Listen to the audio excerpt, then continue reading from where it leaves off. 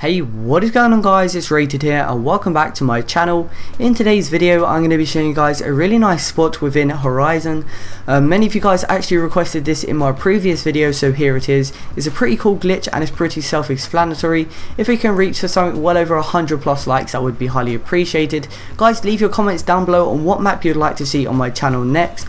But other than that guys I do hope you enjoyed today's video. I'll leave you with the rest of the music and I'll also leave you with the rest of the gameplay but other than that I do hope you enjoyed today's today's video. Hope you guys have a great day and until next time, I am out.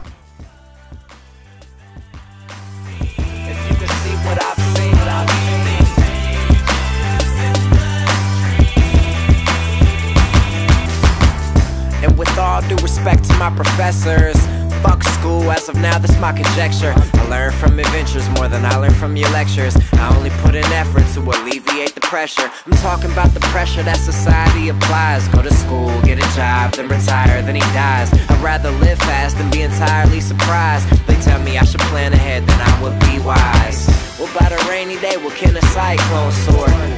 Rain to sunshine, I'm known for. They tell me if I stay in school, I grow more. But still ain't made a good case. iPhone 4.